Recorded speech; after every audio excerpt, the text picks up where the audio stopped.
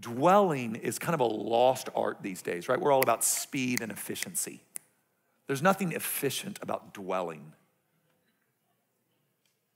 If we would allow the words of Christ to dwell among us richly, and that we would teach and admonish one another concerning them, the Bible says that that leads to worship, singing hymn songs, spiritual songs, and it leads to a thankful heart. And never underestimate the joy of living life with a thankful heart.